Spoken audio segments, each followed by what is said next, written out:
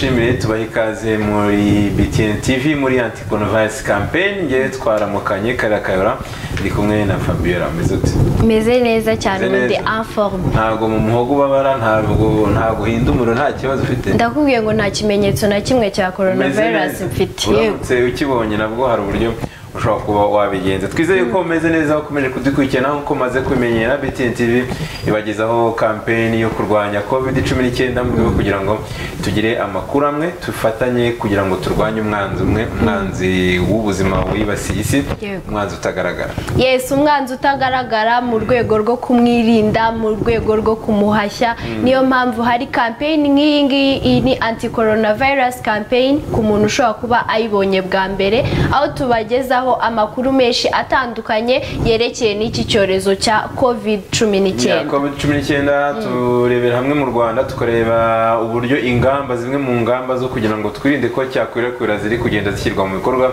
ariko tukareba hamwe n'imibare yo mu rwanda. Noneho icyo dukora ni uguharanira yuko iyo mibare itiyongera dufatanya kujya inama dufatanya gukurikiza amabwiriza duhabwa na minisiteri y'ubuzima ndetse n'izindi nzego zibishinzwe kuko urabizi ko hari uburyo hari aho byageze na polisi izamwo. Yego polisi rwose iri gukora n'akazi katoroshye uri gusanga mu mihanda bari kubwira abantu ati nyabuneka musubire mu ngo zanyu. Urabona ko rwose bari gukora akazi keza cyane. dusaba abanyarwanda ku- Yego. kwirinda ko polisi ijya kubacunga. Ugasanga umuntu arimo aracunganwa na polisi ugasanga akazi kabayeho kugira ngo abantu bakurikize amabwiriza ahubwo akazi kabaye ko gucunganwa na polisi banyuranya ku mabwiriza. Reka duhere rero mu rwanda n'ubundi. Tureba imibare yo mu rwanda ku munsi w'ejo ni bwo minisiteri y'ubuzima nk'uko abantu bamaze kubimenyera ntabwo ntabwo tukigoye ko tutamaze kubona itangazo rivuga ibijyanye n'imibare mu rwanda. Biragoye ko tuzigera tubona nko ku isaha y'isaa yine z'amanywa cyangwa saa tanu imibare ntibishoboka. hatazagira umuntu uza tubaza ati mutubwire saa sita ati imibare mishya ni iyihe saa sita z'amanywa? Tumaze kumenyera ko iza nimugoroba. Itangazo rero ni amakuru mashya kuri coronavirus ubwo ni ku itariki makumyabiri n'eshanu werurwe ni ku munsi w'ejo. Yego. Itangazo riragira riti uyu munsi hagaragaye undi muntu umwe urwaye coronavirus ibi bikaba byatumye umubare w'abarwaye coronavirus mu rwanda ugera kuri mirongo ine n'umwe. Bivuga yuko twari dusanzwe dufite abantu mirongo ine. Uyu muntu rero umwe yaje aturutse dubayi yashyizwe mu kato. Abantu bari dubayi abantu bavuye Badukozeho. turabinginze turabinginze. Mugerageze mwishyire mu kato mukurikize amabwiriza muhumure ino ndwara iravurwa minisiteri y'ubuzima ikomeza ivuga yuko abarwayi bose bari kuvurirwa ahantu habugenewe kandi bari koroherwa. Ati nta n'umwe urembye hanashakirwa abantu bose bahuye nabo eh, kugira ngo basuzumwe ndetse bitabweho n'inzego z'ubuzima. Yes mu itangazo kandi bakomeza batubwira ngo abaturarwanda bose barasabwa gukomeza kwitwararika. Nk'uko byatangajwe na leta y'u rwanda ingamba zafashwe zigomba gukomeza gushyirwa mu bikorwa ibyo ngibyo turabizi.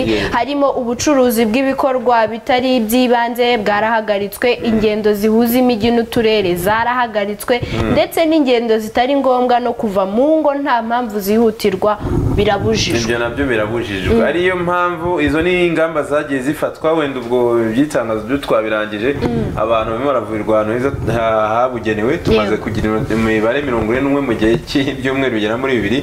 Hari ingamba zafashwe ariko hari n'uburyo ubu- imibereho y'abaturage yagiye ihinduka mu gihugu cyacu. Hari abantu niba abantu batemerewe kujya mu kazi hari abari basanzwe barya ari uko bavuye mu rugo bakora imirimo itandukanye. Rwanda rurimo nta nubwo ari mu rwanda gusa ku isi yose harimo abantu bagira imirimo itandukanye abantu batunzwe no, kumesera abantu hari abantu bamotari bashinzwe gu- gutwara moto hari abantu mbese ba- babona amafaranga ari uko bavuye mu rugo. Abo bose rero hari ahantu hamwe uduce tumwe na tumwe twagiye tugira umutima wa kimuntu tukavuga tuti reka abaturage bacu batishoboye tugire ukuntu twabarwanaho ubwo turagaruka ku bamwe mu gikorwa kiri gukorwa ibitaro bigarukaho kugira ngo n'abandi babarebereho abadukurikiye babarebeho mu midugudu itandukanye cyangwa se imirenge itandukanye. Ahangaha ni ku munsi w'ejo eh, ubwo umurenge wa gikondo mu kagari ka kagunga umudugudu wa rebero bagiraga gutya bakishyira hamwe ku rwego rw'umudugudu. Abaturage b'umudugudu bishyira hamwe hamwe abishoboye abafite uko babayeho bafasha bagenzi babo batishoboye. Hano bavuga yuko batanze ibiribwa ku bantu bagera ku miryango igera kuri mirongo ine. Iki ni igikorwa cyiza cyane kandi si bivuze ngo ni gikondo yonyine igomba kubikora mu rwanda hose twabikora. Ahantu hose babikora abaturage bafite uko babayeho bashobora gufasha abo bandi bagize gute? Ya, ni cyo batishoboye bita umuturanyi mwiza ubundi nta ushobora kumurebera uretse mu ibi ngibi by'ibyago ibintu Yego. byaratunguranye. Ntabwo abantu rwose. bazi ko bizagera hano nta n'umwe wari ko umunsi umwe azisanga abyutse atemerewe kugera aho ajya. Eh. nta wari wakoze sevingi twari tuvuye mu kwezi wumva ukuntu indwara yaje mu bihe bibiri twari tuvuye mu kwezi kwa mbere urabizi ukuntu Ukwezi kwa mbere kuba kumeze nabi. Abantu bamwe za minerivare zivuza ubuhuha imyenyeri Cyane. ivuza ubuhuha. Mu gihe umuntu atangiye kwisuganya wenda uri umaze kwishyura urabizi ko ari uburyo amabanki agira bati muze tubagurize tubagurize amafaranga minerivare muzamugenda mutwishyura mu gihe ukirwana n'ibyo n'ibi ngibi bikaba byikubisemo usanga rero ubuzima bw'abantu no kuvuga ngo abantu ntibasevinze ariko babona barenganyije bitewe n'amezi twari tugezemo n'amezi ubundi akunze kugorana ni amezi yaragoranye. Niyo mpamvu tubwira buri muntu wese ahantu ari nyabuneka nimba ufite umufuka w'umuceri kandi mu by'ukuri hari umuntu muturanye ashobora kuba n'icyo kiro ntacyo afite ashobora kuba yaburaye ukabona abana bari kurira. Nyabuneka gerageza umufashe nawe byibura uyu munsi muke ahangaha n'abayobozi dusaba abayobozi cyane cyane abo mu nzego z'ibanze ibintu babihaririye minisiteri minisiteri y'ubutegetsi bw'igihugu ntibabihaririye polisi ntibabihaririye eh, minisiteri y'imibereho myiza y'abaturage ibyo bintu byose. Abayobozi bo mu nzego z'ibanze ba mudugudu ba gitifu b'utugari n'ab'imirenge ibyo bintu bamenye ntihagire umuntu wo mu mudugudu uvuga wenda ko atazi ibibazo biri kubera mu mudugudu hari abantu bari kwicwa n'inzara. Ibyo ari byo byose mudugudu hari n'abashinzwe isibo. Hose bahera hejuru. Hari n'abashinzwe amasibo. Yes hari abashinzwe amasibo. Mu by'ukuri uba uzi ngo mu ngo icumi dufite mu mudugudu dufite mu isibo tuzimo abantu babiri. Ba- mu by'ukuri bari batunzwe no kuba babanza bakajya gushakisha none ubu ntabwo biri gukunda ubwo rero ibyo ni byo dusaba ubwo urwo ni urugero rumwe rw'aho byakozwe. Niba hari umudugudu byakorwamo imidugudu yose ubundi byashoboka. Ibyo ngibyo muzaba munirinze buriya ba bandi bashobora kuza bati uriya yariye namubonye yariye afite umufuka mucunge yihengetse gatoya ngende inzu nyicukura ibyo wabonye nabonye hari ahantu neza batangiye kuzicukura. Cyane. Ibyo rero ni urwego rwo kubyirinda ngira ngo twongere tunyarukire. None tukiri mu rwanda mu bijyanye no- n'ubu bwirinzi hari ahantu hamwe hari uduce na tumwe ubona yuko niba hatagira ubuyobozi nibutagira icyo bukora hashobora kuzavamo in- intandaro yo kwanduzanya indwara. Hamwe hamwe bagiye babura amazi. Urugero turarebera hano. Ariko ukuntu nk'ubu kweri hameze kwirinda niba abantu ma- amabido atondetse kuriya n'abantu niko bakegerana kuriya cyane ni ukuvuga ngo ikibazo cy'amazi kiri mu bintu bishobora gutuma ubwirinzi bwa covid cumi n'icyenda rwose butagerwaho. Ni ukuvuga ngo biragoye kubwira umuntu ngo agume mu rugo kandi nta mazi afite sibyo ahantu ngo barinde hamwe na hamwe ubwo ni mu bice bya jabana nyakabanda jari kanombe ikintu ikibazo cy'amazi giteye inkeke. Ubuyobozi bwaho rero ni ukureba uburyo bwakora ibishoboka byose abaturage bakabona amazi. Kuko cyangwa se bagashyiraho n'ingamba kuri aya mavuriro. Ni ukuvuga ngo ufite injerekani abantu bemeye gusohoka. Ariko se niba atemerewe gusohoka arabaho nta mazi nta kintu burya hari ibibazo none ubona biri kugorana kuba byakemurwa bitewe n'ingamba zashyizeho ukabona biri kubangamira ziriya ngamba zashyize. Cyane rero reka tubwire hari ewasa abashinzwe Turasaba wa- amazi. wa- wasake Wasake, wasake cyane cyane. Yihangane yihangane. Igerageze igeze aba- amazi ku bantu hari uburyo yajyaga igira gutya. Habaye ikibazo cy'amazi ikavuga atahana muri bubona amazi isaha y'ijoro. Bakamenya igihe bari bujye ku mugezi eh, no mu ngo bakara Yewe. nk'aba ngaba basanzwe bafite amarobine iwabo ariko amazi ntibaheruka. Sibyo ibyo? Wasake na yo ikore ibyabyo inzego zigiye zitandukanye zakoze. Uruhare zatanze uruhare rwazo. Amabanki hari uburyo yatanze uruhare rwazo. Byose inzego zose. Na wasake rero hari ibyo isabwa cyane cyane kugeza amazi ku kugira ngo baturage mu kugira ngo rugo ibashe gushyirwa mu ibashe bikorwa. stay home ibashe gushyirwa mu ngiro. Ntabwo rwose umuntu avuga ati nta n'amazi mfite ntuzi uramusubizayo. Reka reka. Arakubwira ati ndajya kuvoma rwose. Nawe iwawe nta mazi urabizi ko nawe nta mazi ufite aho ngaho urabuza abaturage kujya kuvoma. Ntabwo byakunda. So ntabwo byahari buriya muri aya majerekani ushobora no gusanga harimo ayo kwa gitifu. Ibyo rero reka tunyarukire noneho turebe muri afurika bimeze bite? Aha, muri afurika naho ibintu bitangiye muri afurika ifata indi turaza gufata urugero ku gihugu cya South Africa. South Africa niyo gihugu tuza gufatira buri gihe tugira gutya tukabanga igihugu tukareka imibare ejo twaberetse mu bihugu bikikije. Rwanda uko bimeze? Turafatira kuri Afurika y'Epfo. Afurika y'Epfo ubu ngubu ni cyo gihugu cya mbere gifite abantu benshi bamaze kwandura ino ndwara. Muri Afurika. iraje ikubise inshuro iyo bita Egypt. Egypt Ibaze. niyo yari iya mbere urabizi. Niho twatangiye- twumva umuntu wa mbere wanduye coronavirus muri Afurika uzi gutangira tuvuga ngo iki gihugu kiri ku mwanya wa mbere. Atari n'ibintu byiza ni ibibazo. Ntabwo ari ibintu ntabwo ari ntabwo ari ya ranking ya FIFA iranking uburyo amakipe ahagaze ku myanya myiza. Iki ni cyo gihugu gifite abarwayi benshi. Eh, abarwayi magana arindwi n'icyenda nizo kesi bagize. Gusa magana atatu mirongo icyenda barindwi nibo bagifite ino ndwara mu gihe cumi n'abiri.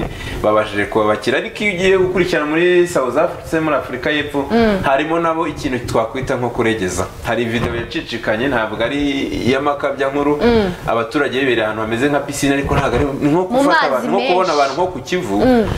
Abantu buzuye barimo baririmba ngo indirimbo ya coronavirus bayiririmba ubona abantu ni vuba ni ifoto ya vuba nta kintu bitaye banegeranye. Banegeranye bagira gute? So ubonaga yuko ni mu byatumye ino ndwara izamuka kuri kigero igaca kuri ku, gihugu cya Misiri.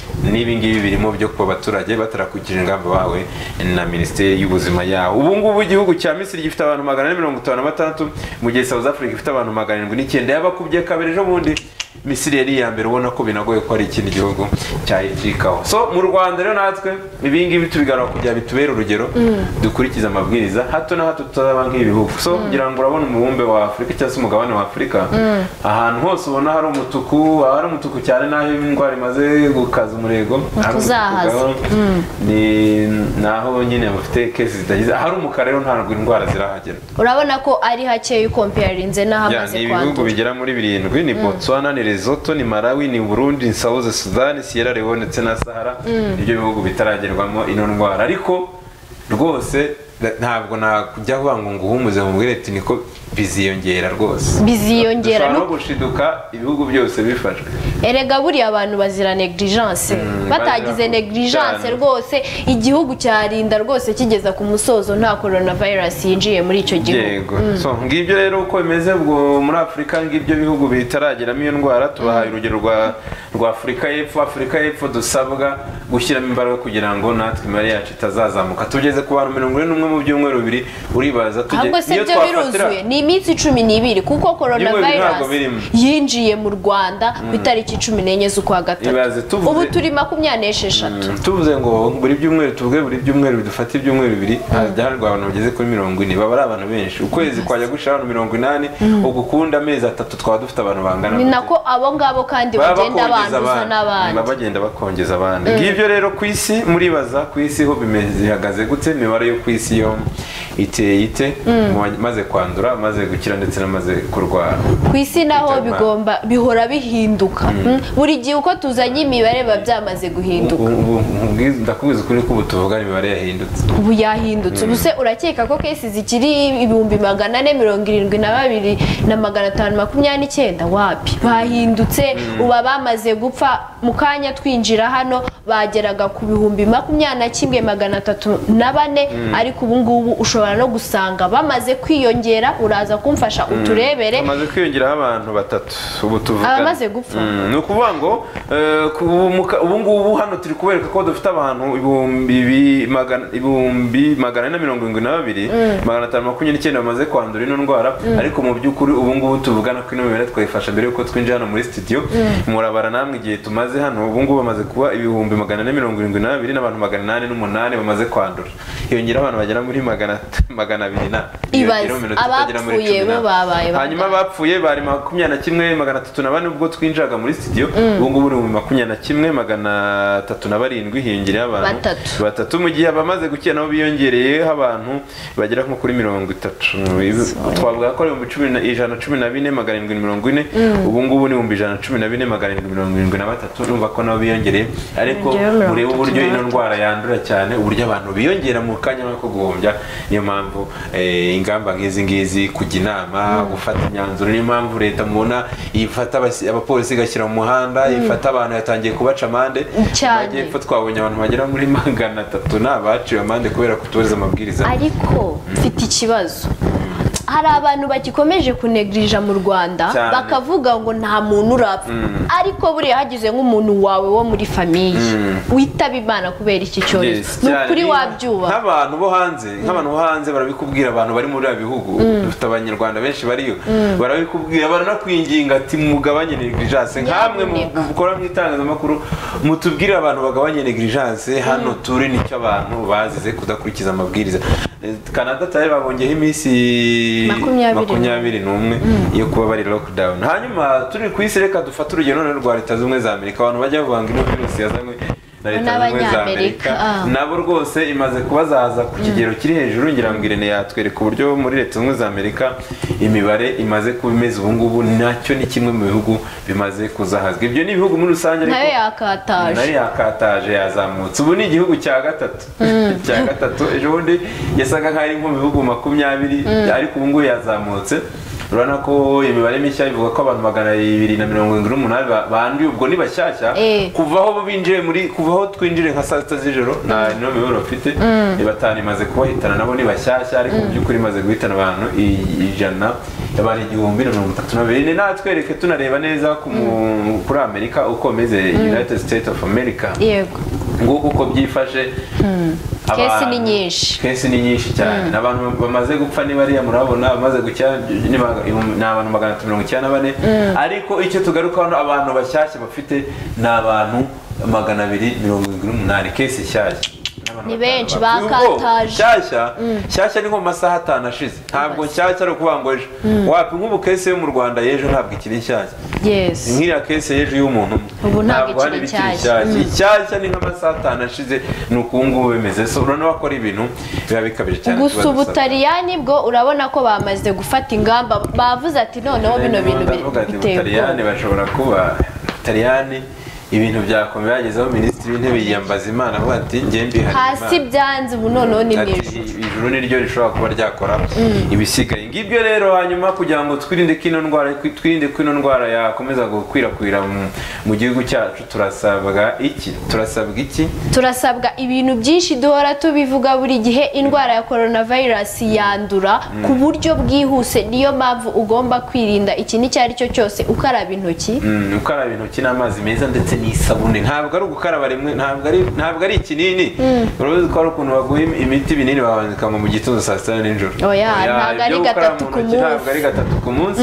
Ni inshuro zose zishoboka mu gihe uzi ko hari ahantu wagiye uhuriraho n'ibintu bishobora kuba byakwanduza. Impamvu bagusaba gu- gu- gu- gu- gukaraba niyo mpamvu ituma bagusaba kutikora ku mazuru mu maso cyangwa se ku munwa. Yes atari ibyo gusa ahubwo no mu gihe urimo urakorora nyabuneka shyiraho akaboko nyabuneka kingaho akaboko ni agatambaro ukugira ngo utagira uwo wanduza hirya ariko bishobotse wajya ukoresha agatambaro kuko nawe ntubuze ahantu wakoze ushobora kuba wakwiyanduza. Twirinde gusuhuzanya nta muntu ugisuhuzanya ariko abantu ntibagisuhuzanye iyo narebye filime mbona abantu barasuhuzanyije umutima urakubita n'abantu aba baranduye ntibara ugira ngo biri live. Twese rero iyo myumvire nitujya mwumva. Handi ubona abantu basuhuzanya ukumva ni nk'icyaha bakoze. Aba bantu ntabwo bazi ko twugarijwe. Iyo niyo mindset dukeneye. Ni ibyo bintu dukeneye gusetinga mu gusuhuzanya guhoberana ibyo bintu nizere ko abantu bamaze kumenyera byacitse. Ikindi mukoreshe udupfukamunwa ariko aho biri ngombwa. Yego ni ukuvuga ngo nimba wenda wumva watangiye kugaragaza ibimenyetso wumva uri gukorora cyangwa se uri mu ruhame Yego. nyabuneka aho ushobora kuba wakambara agapfukamunwa. Hano hari ukwirinda unarinda abandi. Cyane. Nizere ko nta bantu ibintu bisigaye mu bantu bajya kuvoma ku iriba byo guhura mu hantu muri rusange. Rero twabonye abantu ku masoko za gahanga abantu bari aho ngaho bicaye ntacyo bari gukora. Turasaba inzego z'umutekano ntabwo dusaba polisi gusa.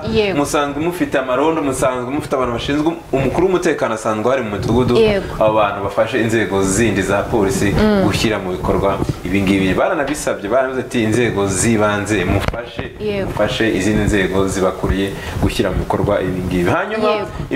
Ibimenyetso bimeze bite? Ibimenyetso bimaze kumenyekana nta muntu utabizi kuko umuntu arakorora atari ku isi korona gukorora ubu ni ubu urakorora nta muntu wakubwira ngo urakira Yes, ntabwo ari ugukora gusa ushobora gukora urwaye gripe isanzwe. Ariko se uri guhinda umuriro uri kugira umunaniro ukabije uri gukorora uri kubabara mu muhogo ndetse uri kugira n'ibicurane. Ikindi uri kumva ufite umusonga. Cyangwa uhumeka nabi. ibyo bimenyetso tayari. Hita wowe wishyira mu kato hamagare rimwe rimwe kane. Cyangwa se se ukanda akanyenyeri rimwe rimwe kane urwego ubundi nawe ubwawe wipima. Ushobora kwipima? Nabonye hano n'ingaga z'abaganga zatagiye gushyira uburyo abantu bashobora kujya bivuriza mu rugo batarinze gukora ingendo zitari zita- zitari ngombwa kandi bashobora no kumuvurira mu rugo atarinze ajya no kwikura mu muhanda. Ubundi rega ingendo. Baravuga ngo virusi ntabwo igenda nitwe tugenda. Ubaye uri mu rugo Ya, yagusanga mu wa mugani ntabwo izava. Ntabwo twe igenda. tuyigendana. Cyane rwose. umuvandimwe yavuye Wuhan agenda ayitembereza cyangwa undi aba ari we ugenda ayitembereza kugeza uyu munsi mu Rwanda. Niba abantu b'i Dubai barimo barayizana bari kuyikura Dubai. Cyane. abantu b'i Dubai niba hari abanyarwanda bari kwigaragara ko bahuye n'umuntu uvuye Dubai. ngo tayari ni uko nguko indwara igenda twagiye tubereka inshuro nyinshi cyane. Turasabwa gukukira kurikiza amabwiriza duhabwa na minisiteri y'ubuzima ndetse n'izindi nzego zibishinzwe. Ndetse mugakurikiza n'ibyo BTN TV babwira kuko ibi ngibi ntabwo ari ibihuha. Basabwa no kwirinda ibihuha ariyo mpamvu twabashyiriye ino kampeni kugira ngo mujye mumenya amakuru ya nyayo. Buri gihe gishoboka cyose. Yego ndumva rero ari ibingibi twari dufite bishya byerekeye icyorezo cya coronavirus. Coronavirus ibintu byose bishya bigenda bigerwaho duhora tubibabwira buri kanya. Mu gitondo saa sita nimugoroba turakora buri gihe. yego. Reka rero dusoze ubwo tubarekere gukomeza gukurikirana ibiganiro bya BTN TV ariko muza no gukurikirana n'ubundi ibindi biganiro tuza gukora bijyanye kuri covid cumi n'icyenda. Ntabwo tugaruka ku bintu bimwe ibyo tugarukaho n'ibimenyetso no kwirinda ibyo byo ntibizigera bibura.